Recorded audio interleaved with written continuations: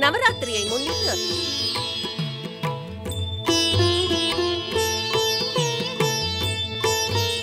October ஆறாம் தேதி முதல் பதினைந்தாம் தேதி வரை தினமும் காலை ஆறு மணிக்கும் மாலை ஆறு மணிக்கும் தேவிய தரிசனம் ஒளிபரப்பாகிறது.